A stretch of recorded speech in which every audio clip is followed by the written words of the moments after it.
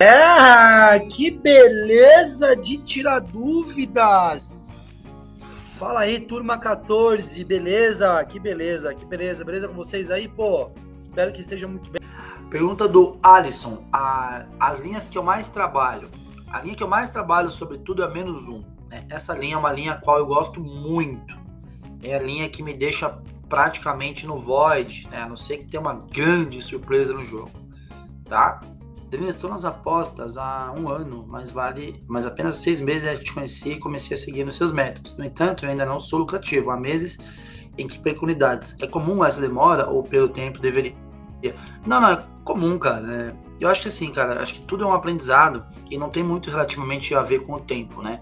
Eu conheço apostadores, velho, que estão há muitos e muitos anos na cena e são, não são lucrativos ainda.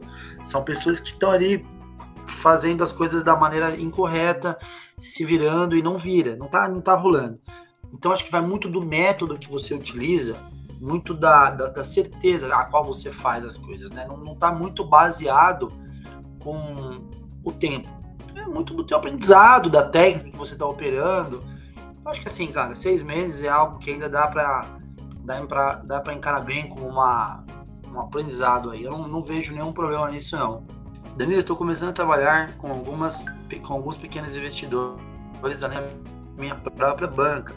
Você recomenda que eu indique para cada para cada um abrir conta de casas diferentes para fazer se for tudo na mesma pode complicar a logística. É, depende muito do perfil que você vai trabalhar nos tipos de mercado e tal. Eu, eu gosto muito mais de tudo num único lugar cara. Eu acho que assim por exemplo você trabalha com mercados asiáticos, só mercados asiáticos, não precisa ter conta em muito lugar. Uma conta na Pineco ou uma conta na Pantherplace já resolve o problema, né? Acho que vai, vai muito disso, vai muito de acordo com o que você, o mercado que você trabalha. Agora, é claro, ah, eu trabalho, por exemplo, com mercado de HTFT, mercado de cartões, mercado mais exótico. Você vai precisar ter e-books diferentes, né? Não, não tenho dúvida.